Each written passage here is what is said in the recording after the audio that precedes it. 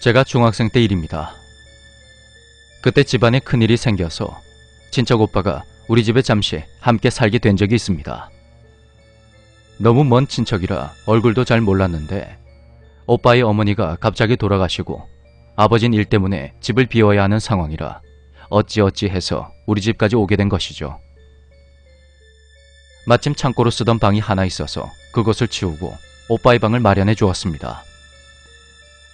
친척이라고 해도 얼굴조차 잘 모르는 데다가 그 당시 사춘기였던 저는 오빠와 서로 간단히 인사 정도만 하며 서먹서먹하게 지냈습니다. 그로부터 얼마 후 이상한 일이 일어났습니다. 어느 날 새벽 2시 무렵 방에서 혼자 음악을 듣고 있는데 어디선가 이상한 소리가 들리는 겁니다. 음악 소리를 줄이고 가만히 들어보니 주변은 조용했고 전 다시 음악 소리를 키웠습니다. 그때 누군가 맨발로 거실을 돌아다니는 그런 소리가 들렸습니다. 방문을 살짝 열어봤지만 불이 꺼진 거실은 깜깜해서 아무것도 보이지 않았습니다. 가족들이 일찍 잠드는 편이라 이 시간에 돌아다닐 리도 없었고 밖으로 나왔다고 해도 불도 안 켜고 돌아다니지는 않을 텐데 말이죠. 방 밖으로 나가보니 소리는 이미 사라져버렸고 어두운 거실에는 정적이 흐르고 있었습니다. 무서운 영화도 혼자 곧잘 보는 소위 겁없는 아이였던 저는 그냥 잘못 들었나 보다 하고 방으로 와서 누웠습니다. 소리는 제가 귀를 기울이거나 거실로 나가면 멈췄다가 방으로 들어오면 다시 들렸고 그제서야 겁이 난 저는 방문을 닫고 눈을 꼭 감았습니다. 그리고 그날 이후로 새벽 2시 반 정도가 되면 같은 상황이 반복되는 겁니다. 처음엔 환청을 듣는 건가 싶어서 친한 친구 한 명을 불러 하루 자고 가게 했는데 그 친구 역시도 발소리를 들었습니다. 내가 잘못 들은 것이 아니라 생각하니 더욱 무서워지더군요. 하지만 부모님은 제 말을 믿어주지 않았고 전 되도록이면 새벽 2시에 잠들기 위해서 애를 썼습니다. 그러던 어느 날 날이 너무 더워서 가족 모두 거실에 자리를 펴고 누웠습니다. 가족들 모두 금방 잠이 들고 잠귀가 예민한 편인 저는 홀로 뒤척거리고 있었죠. 그런데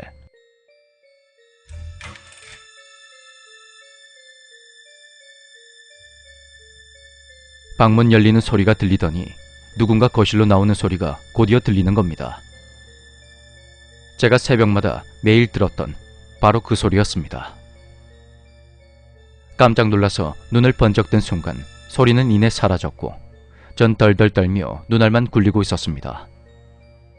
잠시 후 또다시 들리는 발소리에 잠이 확 달아났습니다. 몸을 벌떡 일으켜 주변을 둘러봤지만 조용한 거실엔 아무도 없었습니다.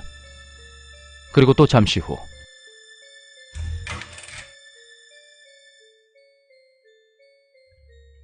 자세히 들어보니 그 문 열리는 소리는 친척 오빠의 방에서 나고 있었습니다. 누군가 오빠 방문을 열고 거실로 걸어 나오는 겁니다.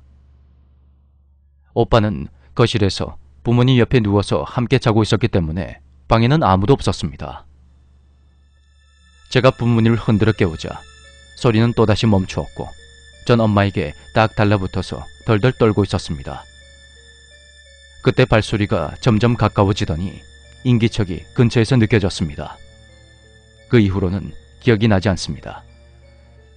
제가 정신을 차려보니 아침이 되어 있더군요. 그 일 이후로 저는 밤에는 거실 근처에도 가지 않았고 방에 불을 켜두지 않으면 잠들지 못하게 돼버렸습니다. 그렇게 1년 정도 지나서 오빠는 거처가 마련되어 집을 나가게 되었습니다. 얼마 후에 우리도 이사를 가게 되면서 그 집에 대한 기억은 점점 흐려졌습니다. 그로부터 10여 년이 지난 어느 날 가족들과 옛날 이야기를 하다가 갑자기 그때 일이 떠올랐습니다. 제 이야기를 들으신 어머니는 굳어진 얼굴로 뭔가를 잠시 생각하시더니 놀라운 말씀을 하십니다.